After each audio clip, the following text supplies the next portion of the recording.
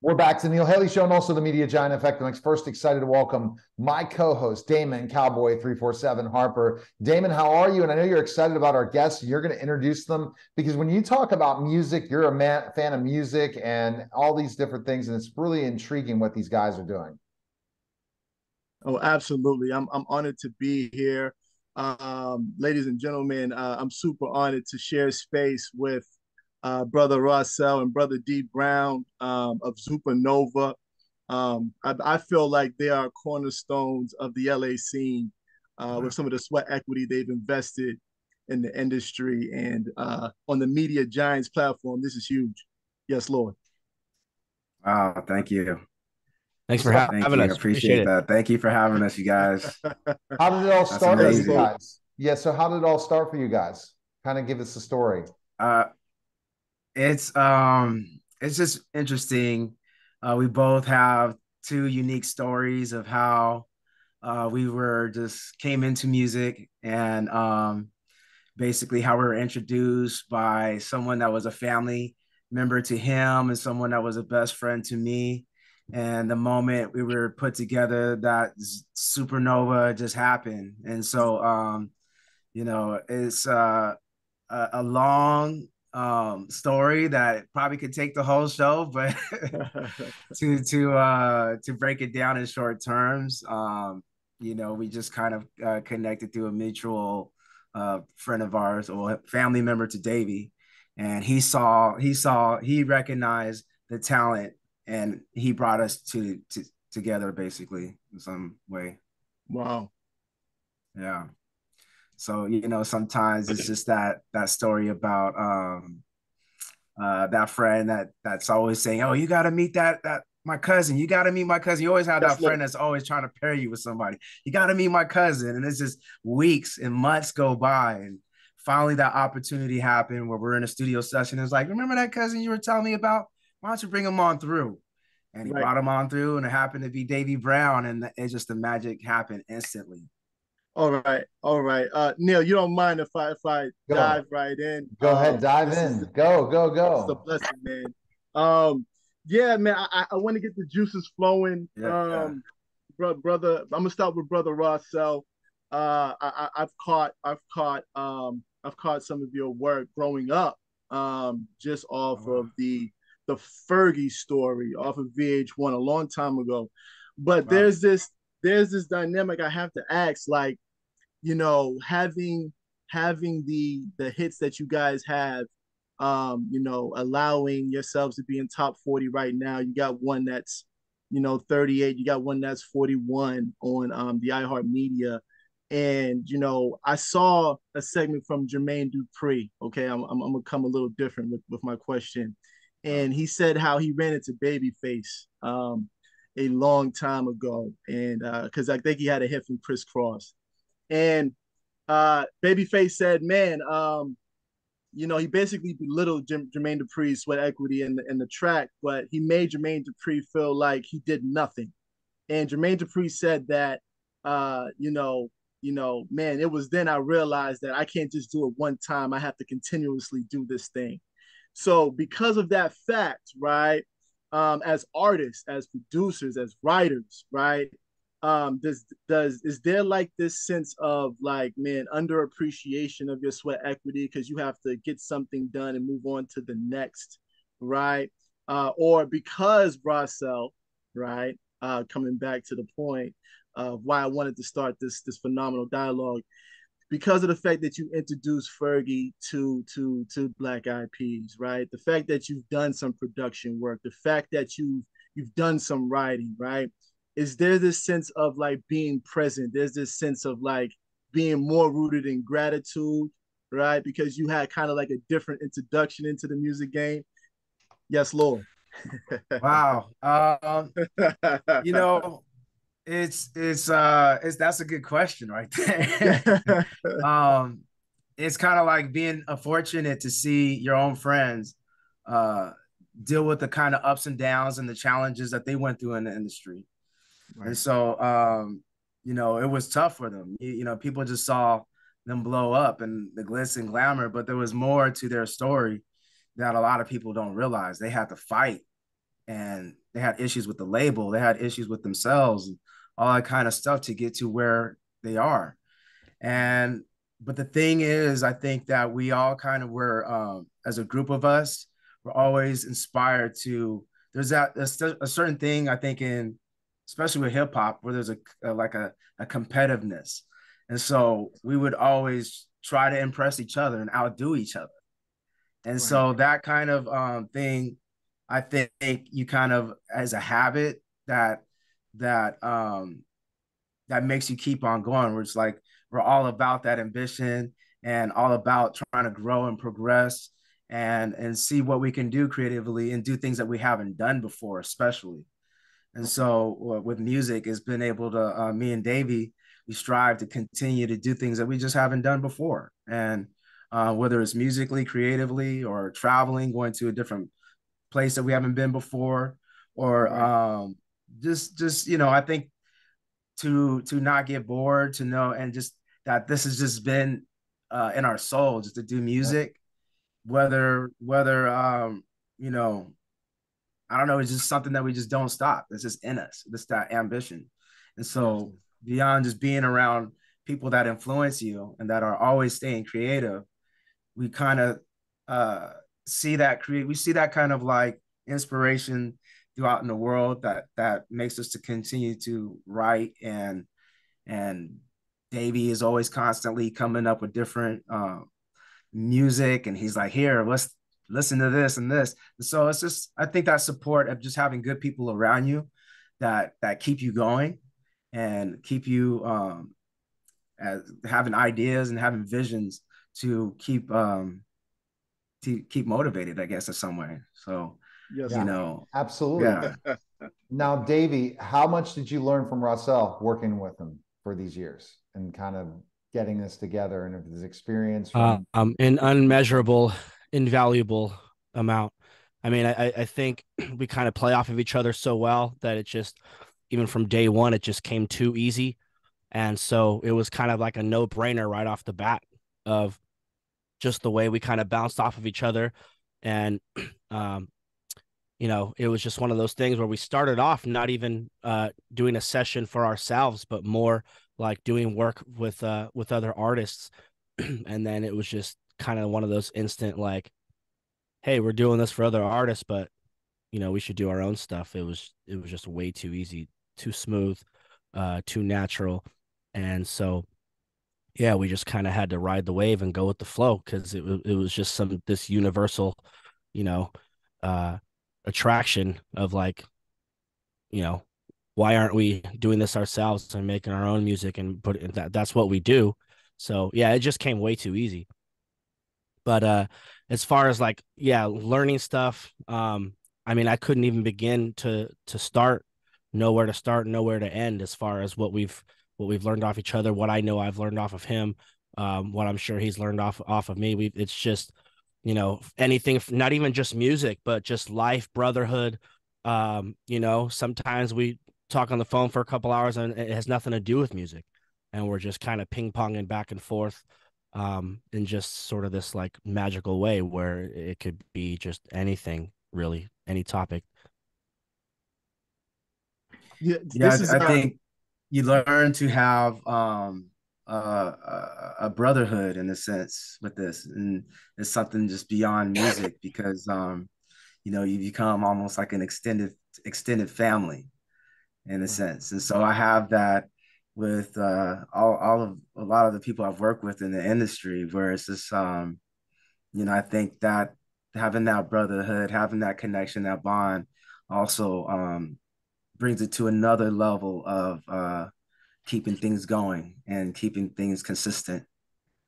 Um, uh, brother, brother, brother Brown and, and Rawcel, uh, shout out to you guys uh, for sticking together for so long um, from the precipice of just being classmates. That this thing about harmony, I keep hearing. Um, what is it about both of you guys as individual stories that allows you guys to be respectful about the aspects of harmony as you guys, you know, grow together and create together? uh, because you know you guys done some some phenomenal work, and I got two more questions to ask after this. But I, I would like to get you guys' mindset on just that and how important that is. You know, between the both of you doing such, you know, profound work together. I think for me, uh, just first and foremost, like, so my dad was a multi instrumentalist. Uh, my older brother's a multi instrumentalist, so I kind of grew up in a house where instead of there being toys around, it was the toys were our musical instruments. And so my dad always had like pro musicians coming in from different genres to jam. My brother had his friends coming into jam. And so it was just kind of like the local jam house in Southern California.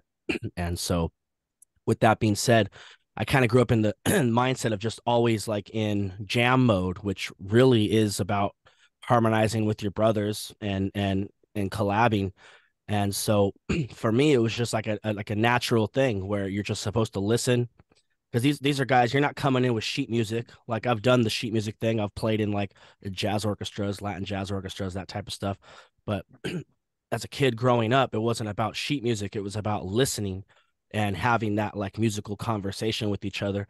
So I'm hearing this person. I'm hearing what can I do to to contribute? What can I do to to to make that uh sound better and then what can i do and hopefully whatever i do then they bounce off of that and so it's just basically this musical conversation where my whole life has been trying to trying to harmonize uh, with mm. people around me and so for me going back to the natural thing it, it just it was just this innate thing inside of me where uh by the time i got old enough to have like my own bands my own groups and, and play with people um, including Rawcel, it was it was just kind of like what I do, just as a as an improv musician, just kind of jamming back and forth. I'm always looking for that that harmony.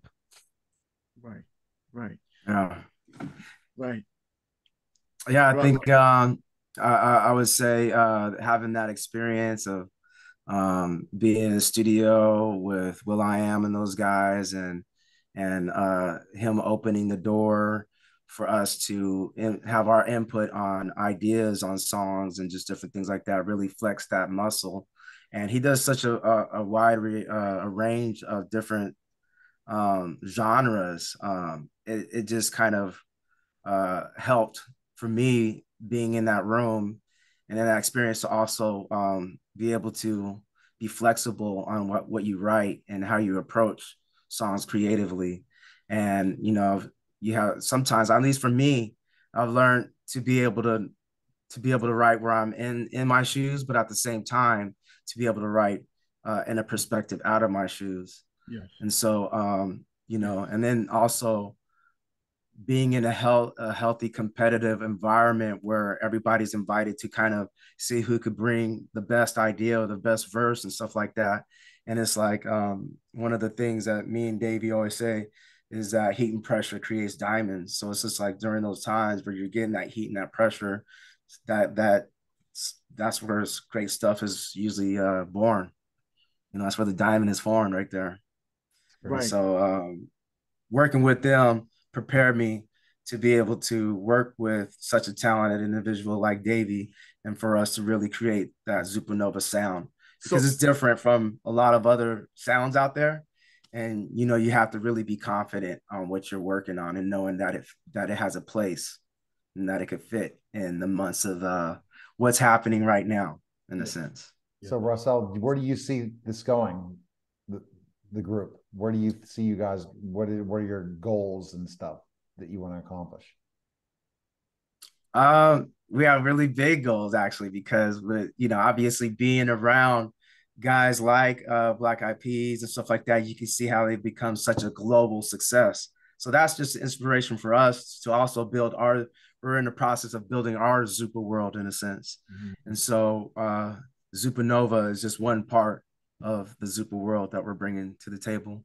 So we're we're getting we're we're going to be uh, doing events. We're going to be doing um, fashion, and um, you know also getting involved with more nonprofits and things like that. But we're pretty much building a, a Zupa world around uh, Zupanova. Yeah, anything from uh, like setting up our own um, 501c3 um, known as the Zupa Foundation, You heard it here first, and uh, and, and because we've been we've been um kind of collabing with uh with other nonprofits for for years now. Uh, most notably, uh, Ambition.org, which um primarily deals with uh like underprivileged youth in the LA area, and so we've just kind of had this passion for uh, for giving back. And so we kind of have our own thing with the Zupa Foundation that we're going to link up with some of these other um, nonprofits as well. Try to do like some some some Zupa collabs on that end, um, as well as the kind of bringing uh, music, fashion, and lifestyle um, together in these events where it's not just going to be a concert, it's not just going to be like a runway show, it's not just going to be like like a an art gallery um, where right. people bring in you know their their artisan crafts and and and things of that nature but just try to kind of you know take that supernova which is originally like where the band name came from but instead of from a to z we're going to put that flip from z to a zupa so we're going to put that zupa twist on it and and just try to kind of have that you know explosion of of sound color frequency you know styles and uh and, and so we want to make it um less of a concert and and less of a of a runway show and less of uh an art gallery and and things of that type and more of an experience mm-hmm. I, I have to as an entrepreneur um you know i i love how this thing go when you when you build connections and you try to create, right? You right. know, the NFL, the NFL was a, a 501c6 up until 2015. Wow. Right.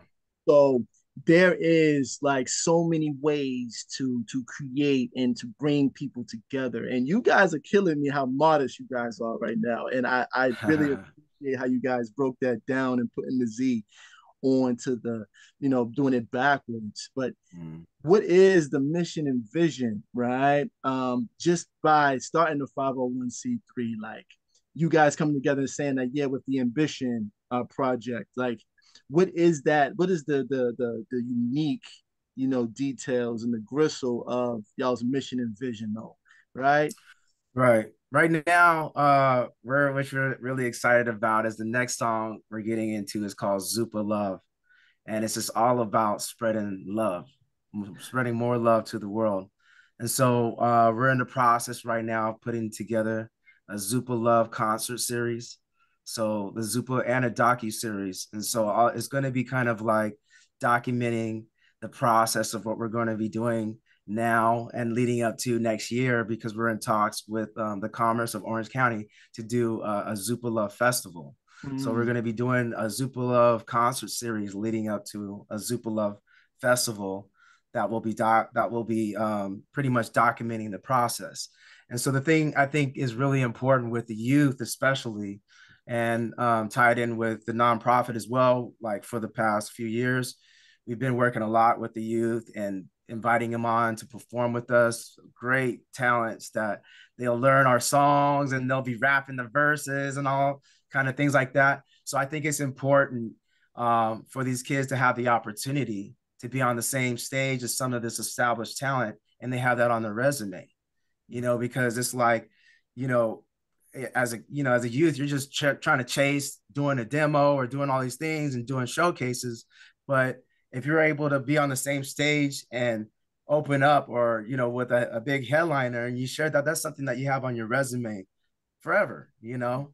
And giving kids that kind of opportunity i think and that experience mm-hmm. and that feeling to be on that same stage i think is important and what we want to provide uh, going forward with the events and things like that the fashion shows that we'll be doing and providing. Yeah really really being able to open up uh uh, doors and opportunities that that were never open for us.